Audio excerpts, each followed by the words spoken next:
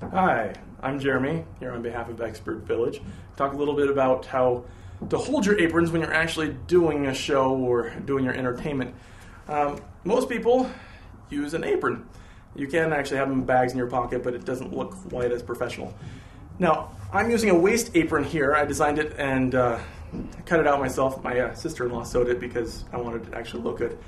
Uh, in this case, I actually have separate buttons separating each pockets for easy loading, three pockets per section, and two large pockets, pockets, one for fragments, and one, in case anybody ends up tipping me, I have a place to put the money, and a holster for the balloon pump, makes it real easy to hold, and an adjustable strap because I'm a big guy and I'm probably going to get bigger. Now, they do have, for a cheaper alternative, there are a couple things you can do. One is if you don't want to build something, you can get a server's apron, like it for a restaurant. They'll usually have two to four pockets. You can stick everything in them, and um, you kind of have to mix up your colors a little bit. They don't show like this does, which makes it nice when it does show. Um, the other alternative, my wife prefers to use a fly fishing vest. Have lots of pockets.